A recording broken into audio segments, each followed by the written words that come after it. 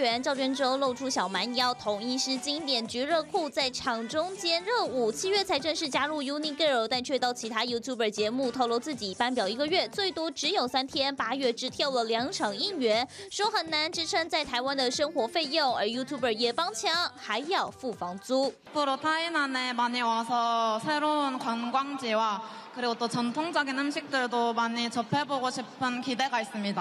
说要更认识台湾，但赚的不多是事实。过去在韩国一个月应援十五场，差很大，也引起粉丝不满。但经纪人换家说，留言指教都有收到，但对公司球队来说，很多东西都是第一次，要一起慢慢变好。也说球团跟总监都很重视咪咪赵娟周，有人欺负他的话，一定不客气。韩国籍的目的就要赚钱的，他不是在做身体健康、万事如意的人，对不对？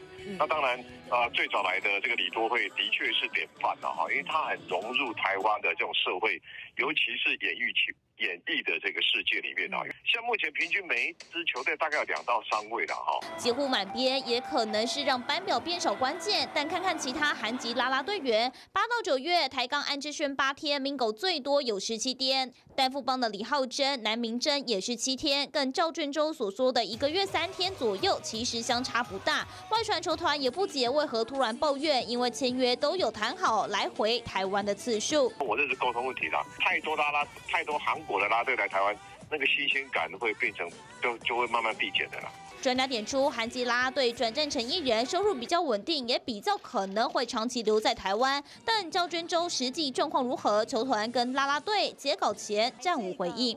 TVB 新闻杨清波家庭台北场报道。想看最完整的新闻内容，记得下载 TVBS 新闻网 APP。